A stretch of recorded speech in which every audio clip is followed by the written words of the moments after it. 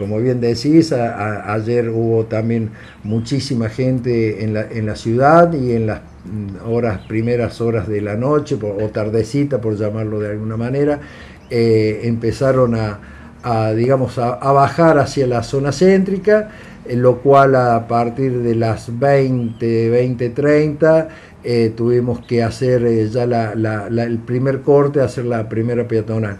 Y bueno, con la, y con la novedad del puente, el nuevo lugar de, punto turístico o de atracción de la ciudad, también el puente ayer era realmente increíble la cantidad de gente que transitó y que fue a visitarlo. ¿De qué calle hasta qué calle es la peatonal?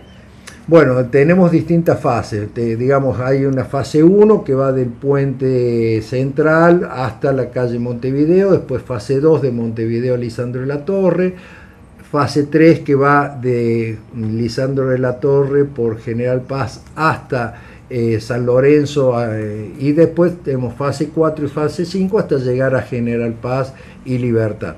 Ayer se pusieron, se hicieron fase 2 y fase 3, o sea, desde Alvear hasta la calle San Lorenzo. Bien, ¿y la gente cómo reacciona? ¿Los eh, conductores reaccionan bien? ¿Obedecen?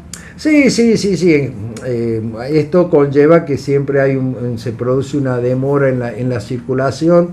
Sabemos que Carlos Pano es un cuadrante perfecto, las arterias eh, tienen sus recovecos el cruce de San, por San Martín hacia Lisandro de la Torre, eh, si bien se ponen tres inspectores en el lugar, uno para tránsito y dos para el control del cruce peatonal, por ahí el peatón también no, no, obedece mucho a las indicaciones de los inspectores y provoca algún tipo de, demora.